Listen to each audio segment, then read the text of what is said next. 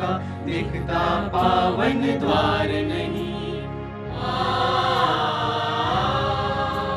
शीश झुके जो कभी प्रेम से, मिल जाता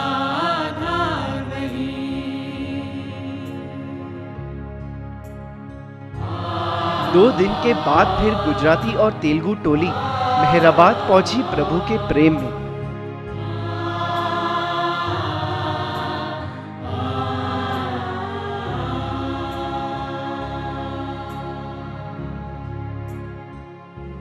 जो लोग खड़े हैं बैठ जाइए।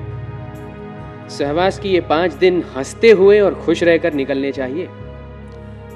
बाबा मैं पालथी करके नहीं बैठ सकती क्योंकि मेरे घुटने नहीं मुड़ते।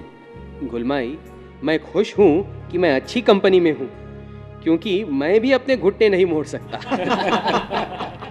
कहो शुद्धानंद भारती कैसे हो? बाबा मैं बिल्कुल ठीक हूँ। मैं चाहता हूँ कि तुम सब अपने स्वास्थ्य का अच्छी तरह ध्यान रखो। नहीं तो रियल सेंस में सवास नहीं हो पाएगा। जी बाबा। मेरी बातों का तेलुगु में कुतुम शास्त्री और गुजराती में बरजोर मेहता अनुवाद करेंगे। ये सहवास गुजरातियों के लिए तेलुगु सीखने का एक अच्छा मौका है और आंध्र के लोगों का गुजराती सीखने का। अगर कोई कुछ समझ ना पाए तो सिर्फ़ मेरी तरफ़ देखना वो मैं तुम्हारी तरफ़ देखूँगा। यही सहवास है। सहवास का मतलब है घनिष्ठ साथ। मैं चाहता हूँ कि तुम सब यहाँ मेरे साथ अपने घर के सारे कामकाज भूलकर पूरी तरह से रहो। सहवास प्रेम का आदान प्रदान है। अब हम प्रार्थनाएँ करेंगे, उसके बाद सब लोग एक एक करके मेरे से मिलना। मेरे अलावा और किसी का विचार अपने मन में मत रखना। जी बाबा। ఓ పరవర్దిగా సర్వపోషక సర్వరక్షక నీవు ఆదియును అంతమును లేనివాడవు అద్దీతుడవు నిర్పమానవుడవు నీ ప్రమాణము ఎవ్వరు ఎరింగనేరు నీవు వర్ణము నామము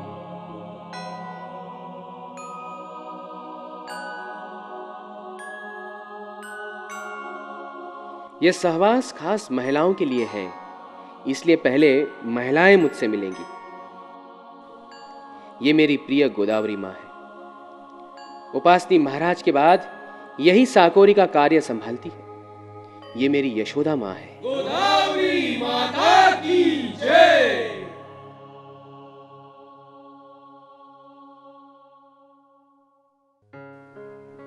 ये एक ज्वेल है अरनवाज जो नरीमान दादाचंद जी की पत्नी है। ये पूरा परिवार पिछले 20 सालों से मेरा प्रेमी है।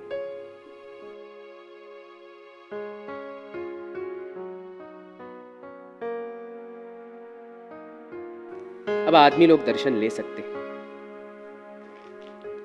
ये बंबई के सौराब जी सिगनपुरिया है, जो वहाँ मेरा सेंटर चलाते हैं। ये एक सच्चे व बाबा के लिए न थकने वाले कार्यकर्ता है। ये बुद्धिमान है और मुझे गहराई से प्रेम करते हैं। ये मेरा प्रेम संदेश जरथोस्तियों के बीच फैलाते हैं। ये आंध्र के कोदुरी कृष्ण राव इनका मेरे लिए प्रेम अनोखा है।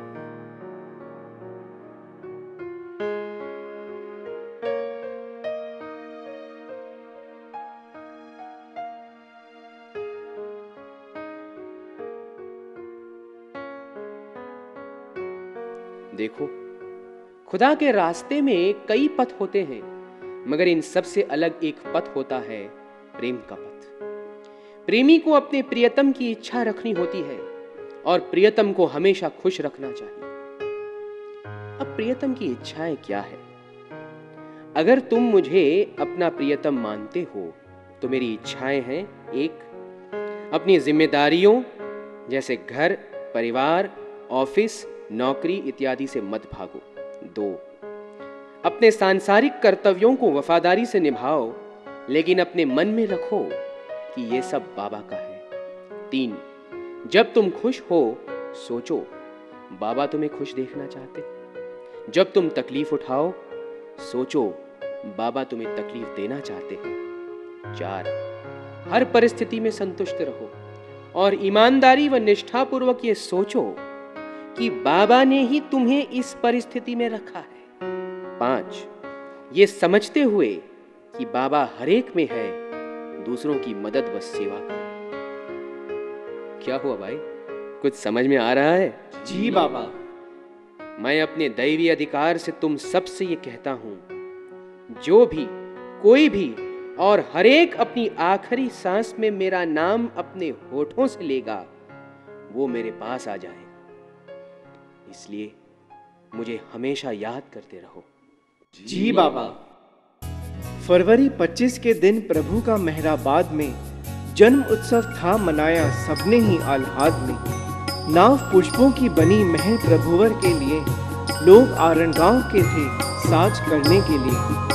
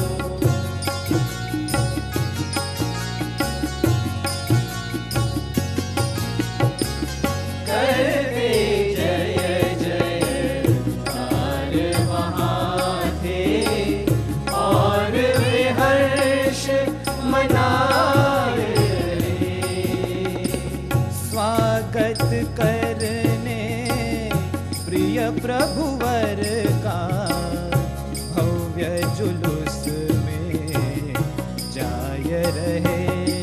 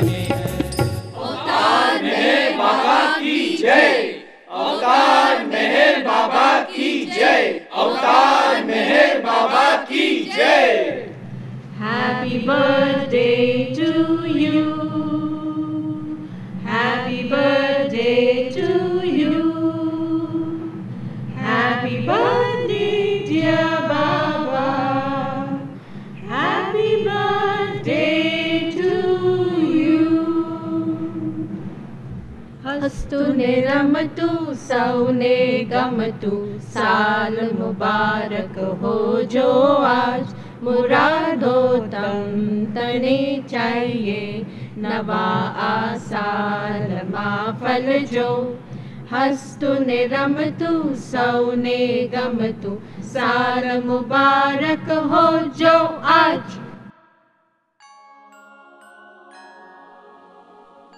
गोदावरी माँ, आज के दिन इन लोगों द्वारा मेरी पद पूजा करने की इच्छा प्रकट करने के कारण मैंने बारह आदमी व बारह महिलाएँ चुनने के लिए कहा था। मगर इन लोगों में मतभेद होने के कारण मैंने अपने पैर खुद ही धोने का निश्चय किया। बाबा ये आपने अच्छा किया।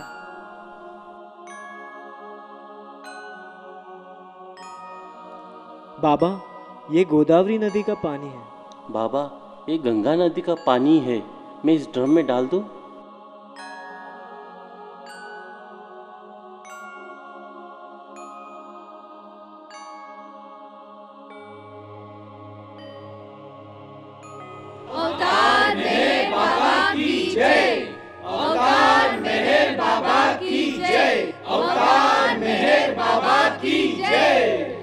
जो मेरी पद पूजा का पानी है इसमें कुछ धूल है इसलिए कोई इसे पिएगा नहीं।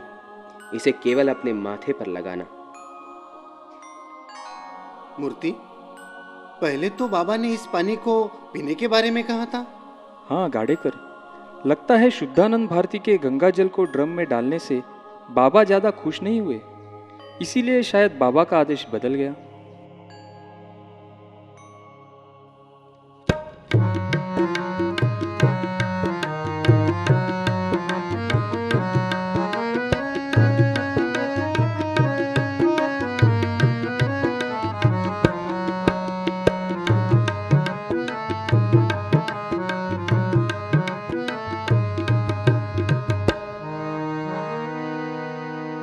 ओ सफ़ेद कफनी वाले,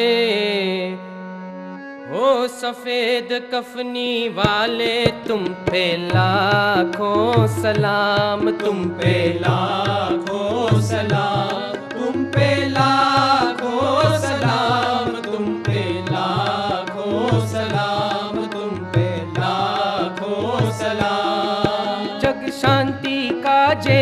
मौन लिया है। शांति का जय मौन लिया है। महान तपस्या तूने किया है महान तपस्या तूने किया है। ओ मेहराबाद वाले।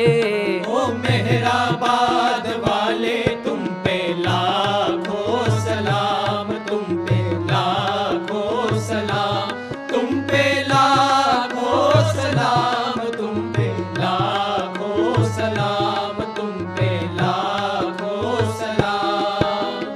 मनमोहक है तेरी मूरत। मनमोहक है तेरी मूरत। जी भर भर देखे ऐ सूरत। जी भर भर देखे ऐ सूरत। ओ लंबे बाल वाले। ओ लंबे बाल वाले तुम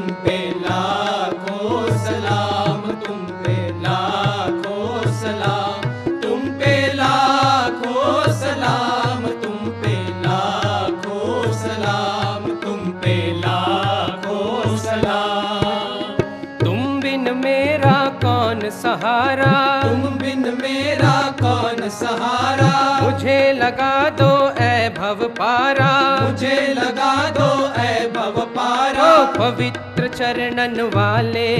ओ पवित्र चरणन वाले तुम पे लाखों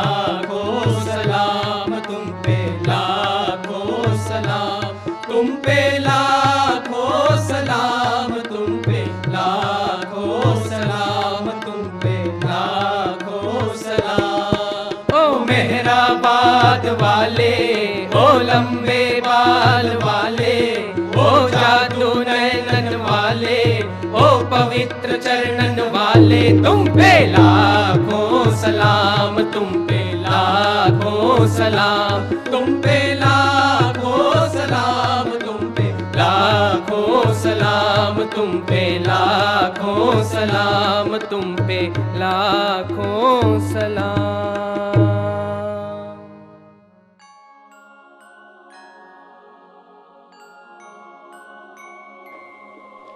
गोदावरी माँ ये निश्चित है कि मैं हरेक में हूँ और सूर्यों का सौंदर्य मेरी वास्तविकता की सातवीं परछाई जी बाबा। और विदा की आई बेला कुछ समय के बाद में मस्त सब ही हो गए थे परम पावन जाम में। साथ मुझको ले जाओ और रखो तुम साथ ही प्रेम पाकर तुम बिताओ प्रेम की ज़िंदगी ही। कुछ सहवासी अपनी आँखों में आँसू छलकाए रहे और कुछ आँसू पीकर भीतर बहुत वेदना पाए रहे। खास ट्रेन पहुँची, जल्दी से सहवासी मजबूर हुए। पीर लिए बैठे कहते हुए, प्रियतम, तुम क्यों क्रूर हुए? चली ट्रेन धीरे से और सब अपने आँसू छोड़ गए। मेहर प्रभु से जीवन भर का पक्का नाता जोड़ गए।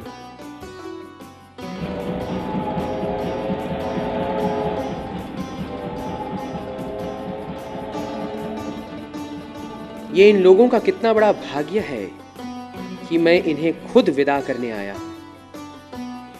ऐसा प्रिविलेज तो हिंदी मराठी ग्रुप वालों को भी नहीं मिला था। जी बाबा। वे अपने साथ मेरा स्पार्क ले गए हैं और मेरा प्रेम हर जगह फैलाएँगे। इस अवतारिक काल में सन 1955 व 1958 हमेशा एक अद्वितीय स्थान लेंगे क्योंकि तब सहवास प्रोग्रामों के दौरान अलग अलग भाषाओं की चिड़ियाओं को मेहराबाद के बाग में रहने व गाने का मौका मिला और उन्हें अपने खुदा की वास्तविकता, जिनमें आत्माओं की आत्मा का समावेश है, के पास आने का मौका मिला। जल के सारे प्रेमियों की वे रहे बस याद में महाबलेश्वर जा रहे महल प्रभु की मास कुछ देर में पूना रहे, चलती थी सब बात। धीरज तुम्हारे कजिन की शादी तो बहुत पास आ गई है। तुम शादी अटेंड करने जा रहे हो? बहदुल भाऊ मैं सोच रहा हूँ कि बाबा से पूछ लेता हूँ। अगर उनकी आज्ञा होगी तो चला जाऊँगा। हाँ ठीक ठीक रहेगा। अभी बाबा आने वाली तो है। तुम पूछ लेना। हाँ बहन मैं ऐसा ही करूँगा। सब लोग ठीक हो? जी बाबा। बाबा मेरे कजिन्स की शादी अगर आपकी आज्ञा हो तो मैं जाऊँ। हाँ ज़रूर है ज़रूर। अपने कजिन्स की शादी में तुम्हें ज़रूर जाना चाहिए। जी बाबा ठीक है। अब मैं ज़रूर शादी में सम्मिलित हूँ। खुश हो रहे हैं? जी बाबा मैं तो बहुत ही खुश वैसे ये शादी कहाँ हो रही है? बाबा यह है अग्यारी में शाम के चार बजे संपन्न हुई हम्म, ठीक है। वहाँ अच्छा समय बिताना? और जल्दी वापस आना। जी बाबा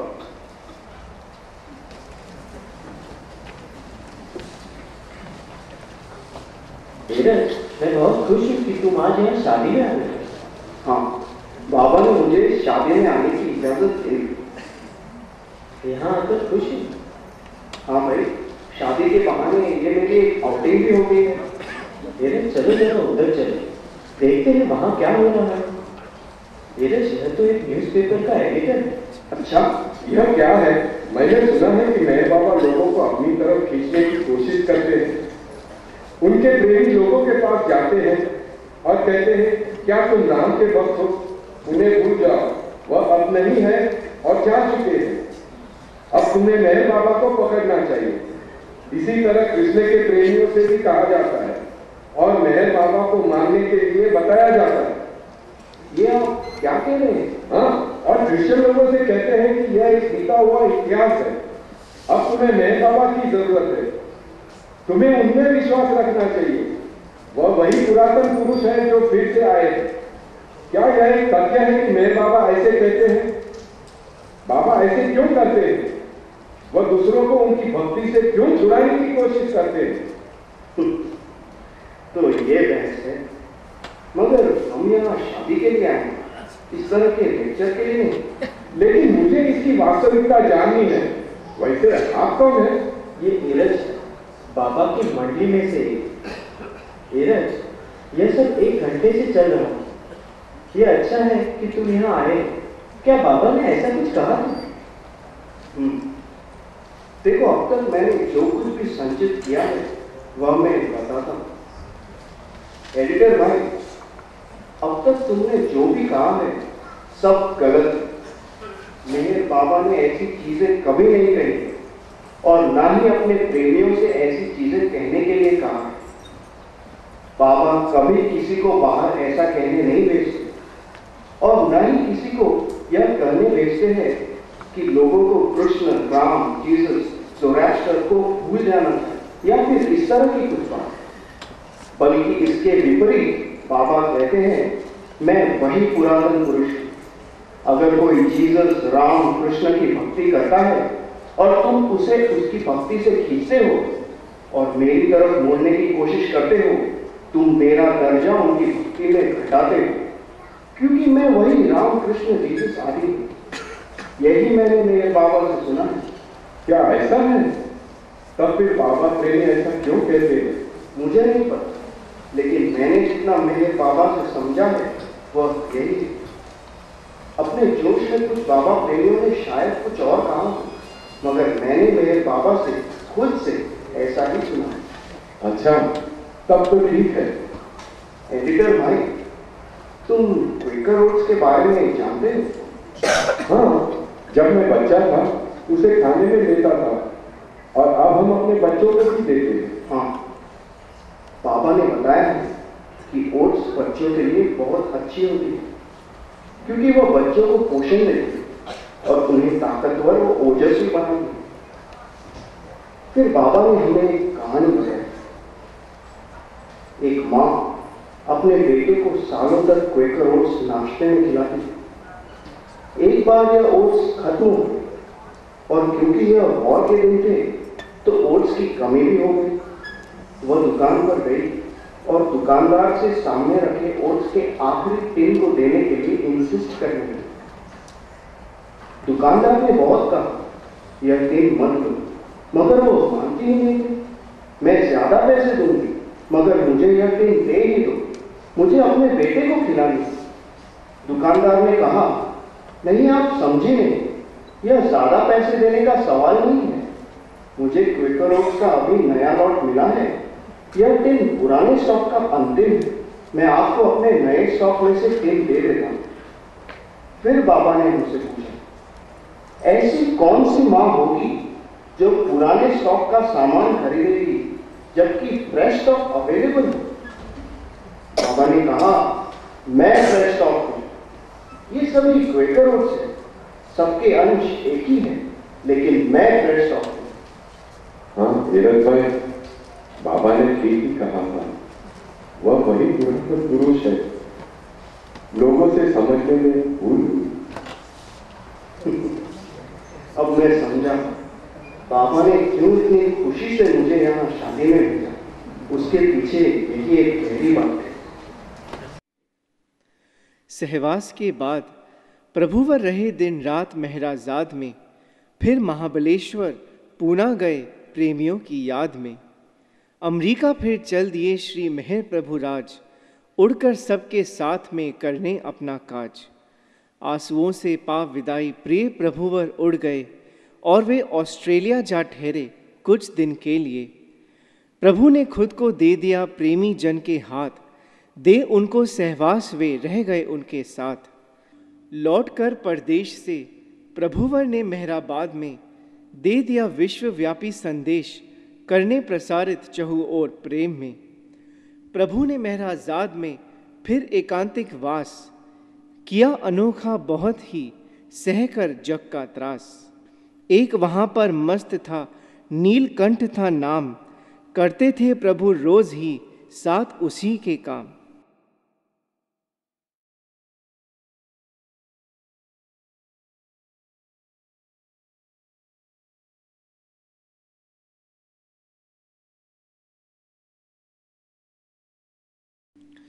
बैदुल जब ये नीलकंठ मस्त यहाँ मेराजाद में कुमार के साथ आया था तब तो मौन में था। हाँ भाऊ तुम ठीक कहते हो मगर बाद में जैसे ही बाबा ने 10 जुलाई को विश्वव्यापी संदेश दिया इसने अपना मौन तोड़ दिया और तब से ये बिना रुके कुछ न कुछ बोलता ही रहता है। अच्छा। ये नीलकंठ मस्त भी कमाल का निकला। तुम्हें पता है ये हिंदी इंग्लिश बंगाली व उर्दू में बातें भी करता है और लिखता भी है। ये संसार एक ज़ीरो है और इसी में खुदा है। बैदुल बाबा का कार्य इसके साथ तो खूब तेज़ी से चल रहा है ना? हाँ बाबा तो खूब खूब देर तक इसके साथ बैठे रहते हैं। और अपने इस एकांतवास में बाबा अपना आंतरिक कार्य बहुत गहनता से कर रहे हैं। हाँ लोबा ये नीलकंठ मस्त उसमें बाबा की बहुत मदद कर रहा है। उत्तर दक्षिण और सभी दिशाओं में बम गिरेंगे। ये मनुष्य का बनाया संसार खत्म हो जाएगा और खुदा की बनाई दुनिया पुनर्जीवित होगी। ये मस्त तो बहुत बड़ी बड़ी बातें कर रहा है। हाँ लोबा तुम ठीक कहते हो। धरती टुकड़े टुकड़े हो जाएगी। आदमी लाचार और बिना आश्रय के ऐसे हो जाएँगे जैसे जानवर पठार में घूमते रहते हैं। बहुत बड़ी संख्या में आदमी मर जाएँगे और फिर से जन्म लेंगे। बलात् परिस्थितियों में आदमी घास व पत्ते खाने को मजबूर हो जाएँगे।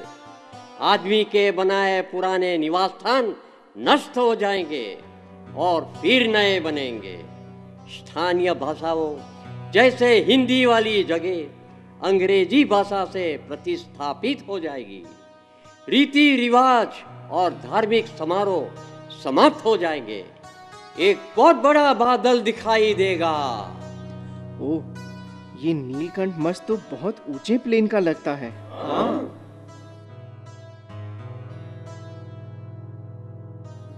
आप यहाँ बैठिए। नीलकंठ एक बहुत ही ऊँची क्षमता का मस्त है। ये मेंटल स्फीयर के छठे प्लेन पर है। एक बार तो इसने मुझे संस्कृत के वो पद सुनाए थे, जो रावण ने शंकर के गुणगान में सुनाए थे। और कभी कभी ये मेरी प्रशंसा में भी संस्कृत के पद बोलता है। जैसे, हम आपके साथ खेलते हैं, हम आपके साथ बोलते हैं, हम आपके साथ खाना खाते हैं, और आपके साथ मज़ाक करते हैं अपनी अज्ञानता में। जी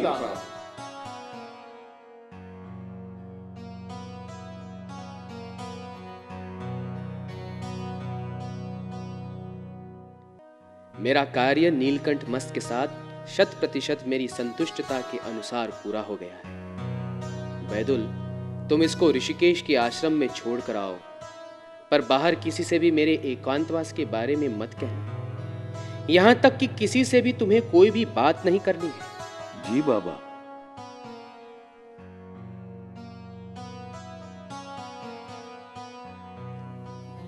अगले जन्म में मेहरबानी करके मुझे फिर से बुलाइए।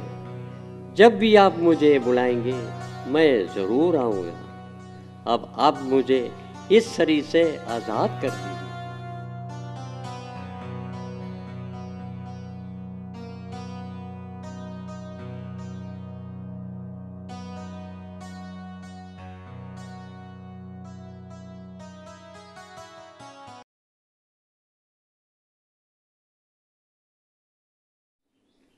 भाऊजी बाबा का एकांतवास तो बहुत ही दिल को हिला देने वाला होता है। हाँ तुम ठीक कहते हो। बाबा का एकांत में अपना विश्वव्यापी कार्य करना जिसकी वजह से उनको इतनी तकलीफ़ में देखना वाकई में उनके प्रेमियों के लिए बहुत मुश्किल काम है। हाँ ये तो है। और जो रात को बाबा की ड्यूटी करते हैं उनके लिए तो बाबा को ऐसी हालत में देखना और भी ज़्यादा तकलीफमय है। तो भाऊजी बाबा एकांतवास के बाद क्या आराम करते थे? या तब भी अपना कार्य ही करते थे? देखो भाई बाबा का आराम तो कभी नहीं होता था क्योंकि एक बार बाबा ने बताया था कि अगर उन्होंने सेकंड के सौवें हिस्से में भी आराम किया तो सारा विश्वव्यापी कार्य ही रुक जाएगा। बाबा का कार्य तो हर पल चलता रहता है। अच्छा? हाँ ये एक अलग बात है कि बाबा ने अब ये निश्चय किया था कि गर्मियों के तीन चार महीने वे पूरा गुरु प्रसाद में रहेंगे बाकी के महीने मेहराजाद में। भाऊजी ये गुरु प्रसाद क्या है? ये गुरु प्रसाद पूना में एक महल है जो बड़ौदा की महारानी शांता देवी का है जो खुद अब एक बाबा प्रेमी बन गई हैं। उन्होंने अपना महल बाबा व मंडली को रहने के लिए दिया है। बहुत ही खूबसूरत जगह है। यहाँ बाबा अपने प्रेमियों से मिलते हैं। अच्छा भाऊजी तो मुझे भी गुरु प्रसाद में ले चलिए, जहाँ बाबा अपने प्रेमियों से मिलते हैं। तो ठीक है, चलो। मगर उससे पहले मेराजात की एक महत्वपूर्ण घटना के बारे में मैं तुम्हें बताता हूँ। शुरू कर दिया बाबा ने बुलवाना। अहमदनगर प्रेमियों को फिर महराजाद में, ताकि सुन सकें गायन उनका, गाते थे वो जो प्रेम में। फिर ले प्रेरणा इससे खुल गया अहमदनगर सेंटर आने लगे प्रेमी फिर इस सेंटर में जो था खुशरू क्वार्टर में। दे दी बाबा ने आज्ञा फिर अपने प्रेमियों को कि वे आ मिल सकते हैं उन्हें नौ व बारह बजे के बीच उनको। आने लगे प्रेमी जन फिर पाकर ये सर्कुलर नियमित दूर दूर व पास से भी होकर बहुत हर्षित। बाबा आपका सर्कुलर पाकर लोग दूर से आपसे मिलने आने लगे। ठीक है आने दो। मैंने अपने एकांतवास की पाबंदी के बाद उनको मुझसे मिलने की यह आज़ादी उनके प्रेम व उनकी भक्ति और आज्ञाकारिता के बीच के संघर्ष को देखकर ही दे दी है। जी बाबा। तुम लोग ये याद रखना कि मेरा कार्य मुझसे ज़्यादा महत्व रखता है। मैं अनंत हूँ और मेरा कार्य दूसरों को मेरे बारे में जानने के लिए ज़रूरी है। ये एक फैक्ट है जब मैं कहता हूँ कि मेरी विल के अलावा कुछ नहीं होता। तुम्हारे लिए, ये तुम्हारे द्वारा कहा जाना चाहिए कि बाबा के विश के अलावा कुछ नहीं होना चाहिए। इसका मतलब यह है कि मेरी विल और विश दो अलग चीज़ें हैं। जैसे कि मेरी विल के अलावा कुछ नहीं होता और तुम्हारा मेरी विश के खिलाफ जाना मेरी विल है। बाबा, रामचंद्र गाडेकर और उनकी पत्नी गुनाताई आए हैं। उन्होंने आपको अपनी बीमारी के बारे में पत्र लिखा था ना? ठीक है, उन्हें बुलाओ।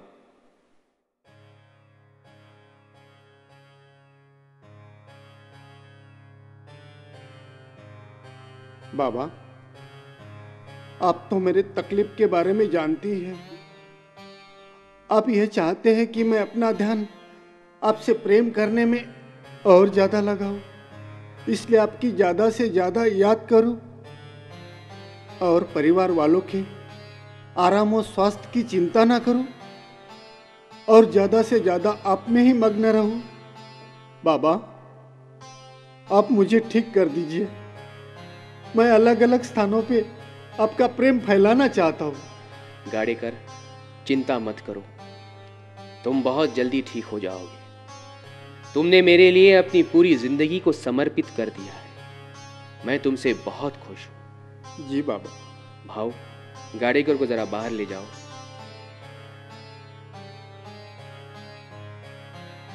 आओ गुणाताई मेरे पास बैठो। जी बाबा। गुणाताई गाड़ेकर मेरे पास बहुत जल्दी आने वाला है। इसलिए उसकी सेवा अच्छी तरह करो। जितना हो सके उसे खुश रखो। जो भी होने वाला है होगा। तुम्हें चिंता नहीं करनी चाहिए। अपने आप को ठंडा रखो और उसे जितना आराम दे सकती हो दो। जी बाबा, आप जैसा कहते हैं मैं वैसा ही करूँगी।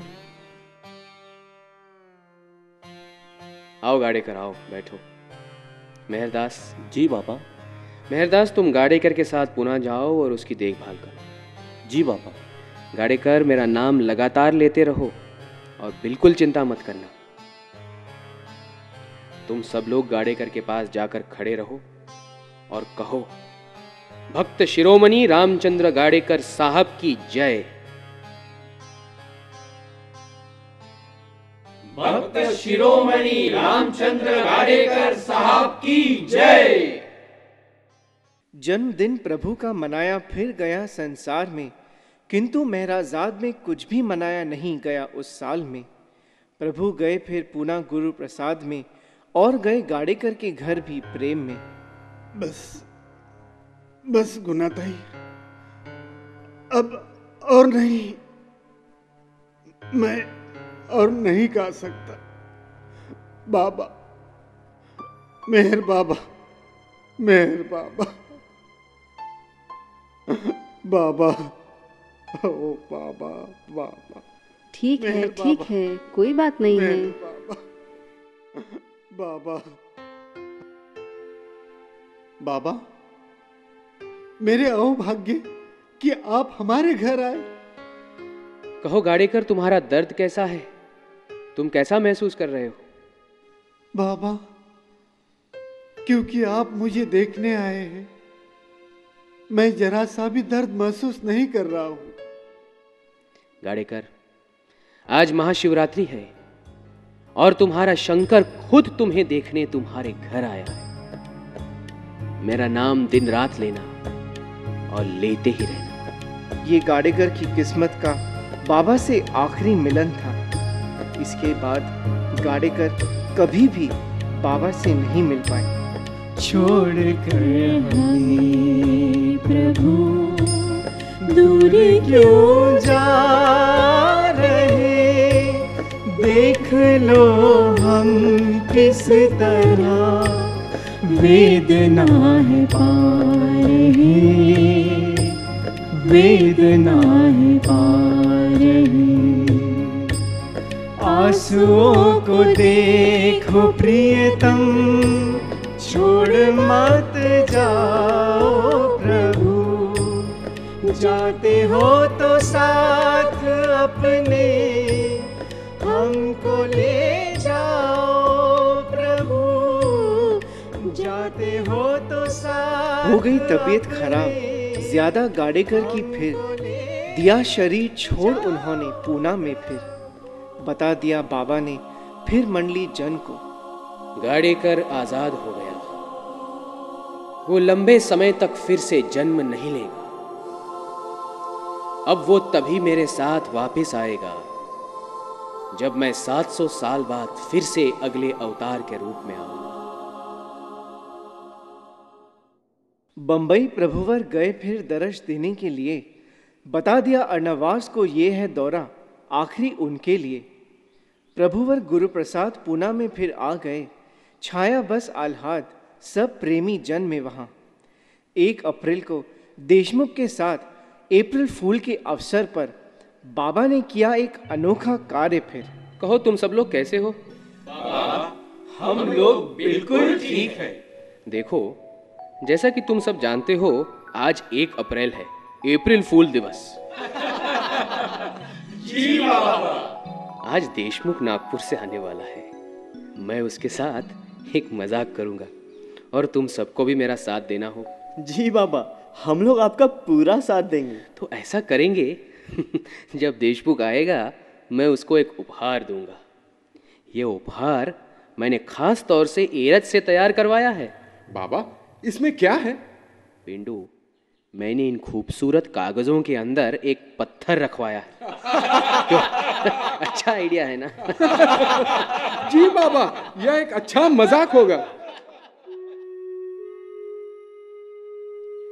देशमुख मैं तुमसे बहुत खुश हूँ। उठो आज मैं तुम्हें एक उपहार देना चाहता हूँ।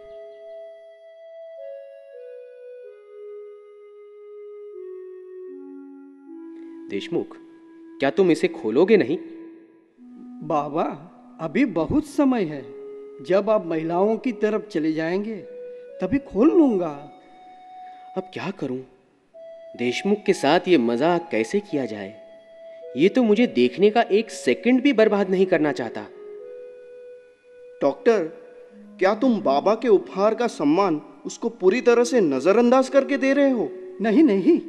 मैं उसे नजरअंदाज नहीं कर रहा हूँ मगर मैं उपहार के ऊपर इतना ध्यान क्यों दूँ जबकि देने वाला स्वयं मेरे सामने है। अरे देशमुख उपहार खोलो ना। हाँ हाँ देशमुख जरा हम भी तो देखे कि बाबा ने तुम्हें उपहार में क्या दिया है। हाँ हाँ देशमुख हम भी इसे देखने के लिए काफ़ी उत्सुक हैं। खोलो अरे खोलो ना। नहीं भाऊ मैं उसे बाद में खोलूँगा। अभी मैं बाबा के पास बैठा हूँ। देशमुख क्या तुम इसे देखना नहीं चाहते? पुकार सच्चाई यह है कि मेरे प्रियतम का मुझे याद करना ज़्यादा मूल्यवान है। यह कुछ मायने नहीं रखता कि उसमें क्या है। तो तुम ये कहना चाह रहे हो कि तुम्हें इस बात की परवाह नहीं है कि बाबा ने तुम्हारे लिए कुछ खास चुनने के लिए इतनी तकलीफें उठाई है? ये किस तरह का अखड़पना है? क्या यह अपने प्रियतम को सम्मान दिखाने का सही तरीका है? कि उनके उपहारों को नजरअंदाज किया जाए। ठीक है, एरज, तुम कहते हो तो मैं बाबा का दिया यह उपहार खोलता हूँ।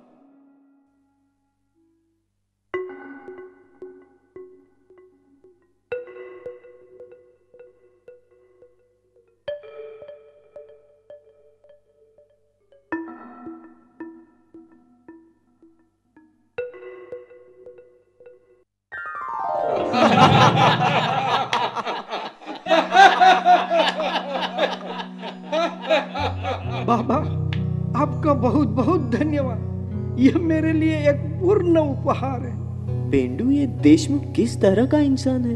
हाँ इसे पत्थर मिला है और फिर भी यह इसे पूर्ण उपहार बता रहा है। डॉक्टर ऐसा लगता है जैसे आपको केवल एक पत्थर मिला है। हाँ मगर जरा सोचो अगर मुझे कुछ और दिया जाता समय के साथ वह काम में आ जाता या खराब हो जाता या फिर मिट्टी में गिर जाता लेकिन यह यह एक अमर उपहार है। बाबा ने मुझे ऐसी चीज़ दी है, जो मैं हमेशा अपने पास रख सकता हूँ, और अब से यह मेरा सबसे ज़्यादा कीमती खजाना होगा। यह पत्थर यह पत्थर मुझे हमेशा याद दिलाएगा कि मुझे बाबा के ऊपर एक चट्टान की तरह मज़बूत विश्वास रखना चाहिए। बाबा, हम लोग तो देशमुख का मज़ाक बनाने गए थे, पर यह तो उल्टा हमारे ऊपर ही पड़ गया।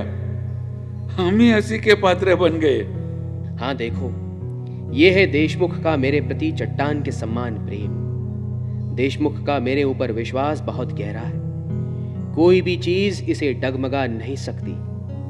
देशमुख मैं तुमसे बहुत खुश हूँ।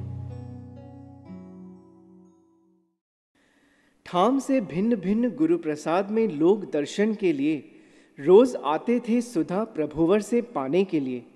आई क्रिकेट टीम वहाँ पाने को आशीर्वाद जाती थी इंग्लैंड वे करके प्रभु की याद। प्रभु ने गले लगाए खिलाड़ियों को सब वहाँ प्रेम बीज वे पाए मह प्रभु से मिल वहाँ। गुरु प्रसाद में बाबा ने एक दिन बुलाई मीटिंग सब प्रेमियों की और कहीं उनसे एक बात प्रेम की। बाबा आपने हम लोगों को बुलाया? हाँ हाँ आओ भाई सब लोग बैठो। देखो मैं बहुत थक गया हूँ। पूरे ब्रह्मांड का बोझ मेरे कंधों पर बहुत भारी हो गया है। मैं अपने आप को ताज़ा महसूस करना चाहता हूँ और कुछ आराम भी करना चाहता हूँ। मैं चाहता हूँ कि यहाँ तुम जितने भी लोग उपस्थित हो, एक छोटा हास्य से भरा नाटक करके मुझे हंसाओ और मेरा बोझ हल्का करो। जी बाबा। बाबा, हम लोग फ़ौरन उसकी तैयारी शुरू करते हैं।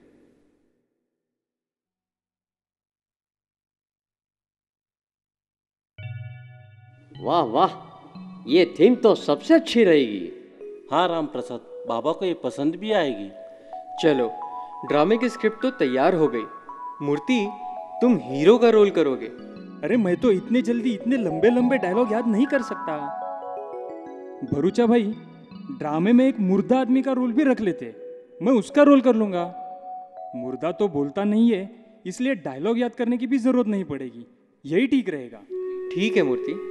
तो ठीक है मूर्ति मुर्दे का पुकार हीरो व बाबू राम प्रसाद हीरोइन का रोल करेंगे। हीरा तुम नाचोगे हाँ? मैं गजवानी व ढाके मुर्दे की अर्थी उठाने का कार्य करेंगे।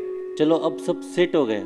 बाकी सारे प्रेमियों को दोपहर में नाटक देखने आने के लिए बोल दिया है ना? हाँ हाँ वह सब तो हो गया है। कर दी शुरू करने ड्रामा की तैयारी वहाँ मुर्दे को कैसे ले जाना है? विचार चल रहा था वहाँ। बाँध दिया मूर्ति को बना मुर्दा फिर और हो गए खुश कि ड्रामा बढ़िया हो गया है तैयार। पर नहीं जानते थे कि वे भी बाबा हैं आखिरकार। क्या होगा उनके साथ इस बढ़िया स्क्रिप्ट के पार?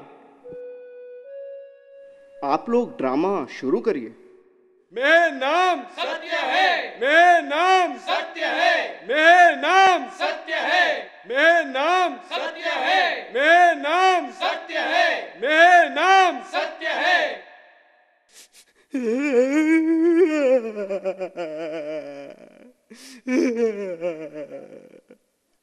अरे बेचारा बड़ा अच्छा आदमी था पश्चिम बंगाल से आया था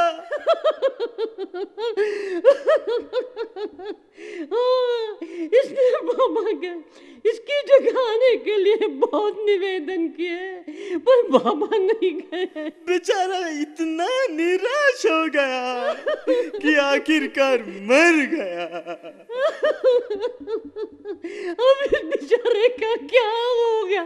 बाबा थोड़ी दया कीजिए। इस मृत अभावे को अपना दिव्य स्पर्श प्रदान कीजिए। बाबा इस दुखी आत्मा की आखिरी इच्छा पूर्ति के लिए आप उन सभी जगहों पर जाइए जहाँ आप कभी नहीं गए हैं और सबको अपना दर्शन दीजिए।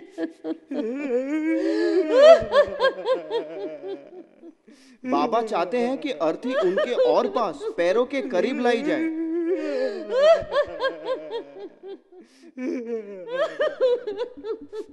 मुर्दे का रोल करके मैं तो बहुत ही भाग्यवान हूँ कि मेरा शरीर बाबा के पास उनके पवित्र पैरों को छुएगा। बाबा कृपया आप अपने पावन हाथों से मुर्दे को छू दीजिए। बाबा अगर आप अपने हाथों का दिव्य स्पर्श इस मुर्दे को दे देंगे तो उसका जीवन सफल हो जाएगा। बाबा इसे अपने हाथों से हाथों से जल्दी से छू दीजिए वरना अगर देर हुई तो यह मुर्दा जल्द ही सड़ने लगेगा।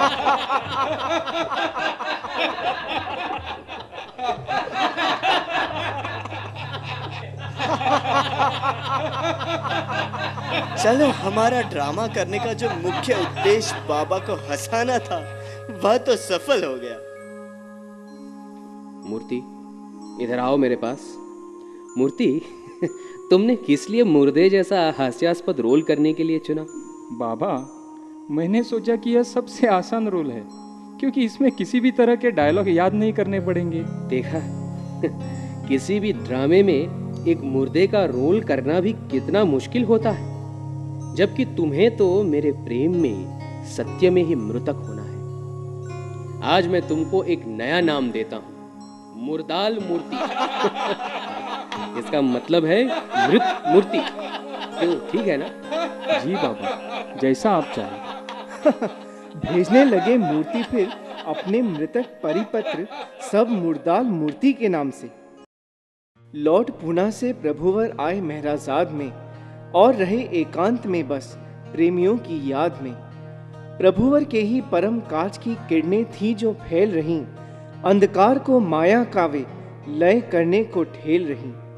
पीर साहेब मस्त के साथ कार्य करके हुए खुश बाबा प्रेम में और फिर बता दी कुछ बातें अपने कार्य की गहनता लाने में। सब लोग रात को ठीक से सोए? जी बाबा। मेरे कार्य का अनंत रूप से नाजुक पहलू मेरी पूरी संतुष्टता के साथ 28 अक्टूबर को समाप्त हो जाएगा। मेरे कार्य का शत प्रतिशत परिणाम 24 दिसंबर तक हो जाएगा। इस परिणाम का प्रकटीकरण दो पहलुओं में आएगा। एक मेरा ह्यूमिलिएशन दो मेरे ग्लोरिफिकेशन का। मेरे ह्यूमिलिएशन वाले पहलू में तुम्हारे मेरे प्रति प्रेम की मात्रा और तुम्हारी मेरी आज्ञा पालन की तैयारी परखी जाएगी। मेरे द्वारा नहीं, बल्कि खुद अपमान के पहलू द्वारा ही। तुम में से वो लोग जो इस सब में मेरा दामन कसकर पकड़ेंगे, आशीर्वाद पाएँगे और वे मेरे प्रेम की दिव्य महिमा में एक विजयी की तरह उभरेंगे। दूसरा ग्लोरिफिकेशन वाला पहलू तब आएगा जब मैं अपना मौन दिव्य शब्द, यानी डिवाइन वर्ड के द्वारा तोड़ूँगा। वो शब्द जो मनुष्यों के दिमाग व हृदय में खुदा के अस्तित्व को बिना किसी विवाद के स्थापित करेगा। शब्द जो संसार को ये बताएगा कि खुदा का न केवल अस्तित्व है, बल्कि केवल उसी का अस्तित्व है, अनंत। और अनादि रूप से। ह्यूमिलिएशन का पहलू जो आने वाला है, एक धुएँ की तरह है, जो पहले तुम्हारी आँखों में जाएगा, तुम्हें अंधा करेगा, भ्रम पैदा करेगा और तुम्हें ढकने की कोशिश करेगा। इससे न तो विचलित होना और न ही आतंकित होना। आग जो उसके बाद आएगी, उस शक व भ्रम के धुएँ को साफ़ कर देगी। उसकी रोशनी एक ही सत्य को उजागर करेगी कि वो है। और इस सत्य की खा जाने वाली लपटों में वो सब नष्ट हो जाएगा ये मेरा गुणगान है। चिंता मत करो। खुदा उनको अबैंडन नहीं करता जो उस पर विश्वास रखते हैं। वे लोग जिन्होंने आज इच्छा पूर्वक अपने को मेरा गुलाम बनने के लिए चुना है, कल सच्चे गुरु बन जाएँगे। मेरा कभी न खत्म होने वाला प्रेम तुम सबके लिए है। खत्म हुआ बाबा का ये गहन एकांतवास 24 दिसंबर 1959 पर और उसी दिन मनाया गया मेहरा का जन्मदिन वार पर। जैसे जैसे समय बढ़ता जा रहा है, बाबा की हालत तो खराब होती जा रही है। उनका कार्य कितना कठिन है। कहो भाई, कैसे आना हो? बाबा, भाऊजी ने मुझे आपके उन्नीस सौ उनसठ के एकांतवास के बारे में बताया। बाबा, उन दिनों तो आपकी हालत काफ़ी खराब हो गई थी। मुझसे तो आपकी हालत देखी नहीं गई। देखो भाई, मेरा तो कार्य ही ऐसा है। खुदा धरती पर अवतार लेकर मानव रूप में तभी आता है, जब धरती पर बहुत ज़्यादा गड़बड़ी हो रही होती है। चारों तरफ़ लोग अपने स्वार्थ में अंधे हो जाते हैं। भाई भाई का नहीं रहता। चारों तरफ़ माया रूपी अंधकार फैल जाता है। इसी को दूर करने के लिए खुदा अवतरित होता है। और जब वो इस माया रूपी अंधकार को दूर करने के लिए उससे लड़ता है तो उसमें उसके ऊपर बहुत ज़्यादा तकलीफें आती है। माया हर क्षण अवतार के कार्य का विरोध करती है। मुझे माया को रखते हुए ही लोगों के मन से उसको पूर्ण रूप से हटाकर सत्य का ज्ञान प्रवाहित करना है। वो लोग जो माया के जाल में बुरी तरह जकड़ गए हैं, उनको ज्ञान रूपी प्रकाश में लाने के लिए ही मुझे इन सब तकलीफों का सामना करना पड़ता है। जी बाबा और आप लोग भी मेरी बात सुनिए। आप लोग भी अपनी इस माया की जकड़न से बाहर निकलिए। मेरे बताए हुए रास्ते पर चलिए। अब आप पूछेंगे कि मेरा बताया हुआ रास्ता क्या है?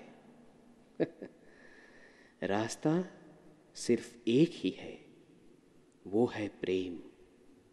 सिर्फ़ प्रेम। आपस में एक दूसरे से प्रेम करिए, खुदा से प्रेम करिए। जिससे प्रेम नहीं करना है, वो है छल, कपट, स्वार्थ, अहंकार, अपना अहम। अपने अहम को छोड़कर खुले दिल से मेरे खुदा के पास आइए और मुझसे भरपूर प्रेम पाइए। मैं सिर्फ़ प्रेम हूँ। प्रेम का प्रतिरूप हूँ, प्रेम का प्रतिबिंब हूँ, प्रेम के अलावा कुछ नहीं हूँ। आइए आइए फिर हम सब मिलकर प्रेम से, प्रेम की भाषा में ही कुछ गाते हैं। ऐसा गीत जो पूरे संसार में प्रेम की गंगा बहा दे